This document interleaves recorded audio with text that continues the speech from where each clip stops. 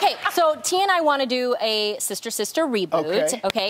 So I'm so excited, you guys. Yeah. Almost there. So if if we make this happen, are you on board? Are you se- are you really asking me this question right now? Yes. Of course I'm on board. Yes. Of course. You on Okay. TV, you gotta stick with that. Oh, yes, I'm- yes, it's, I'm st- it's stuck. Okay, happening. so uh, where do you think your character Tyreek would be now? Where would Tyreek be right now? Yeah. Be it that he was a security guard when they went to college Yes. at, uh, at, at, at University of Michigan. I think he's parlayed that into like a, a full-on firm. He's doing Oh, nice. Bodyguard work. He's got people all over the place. He's doing big things, Tyreek. I is heard now. that. Yeah, I right. heard Nice. that.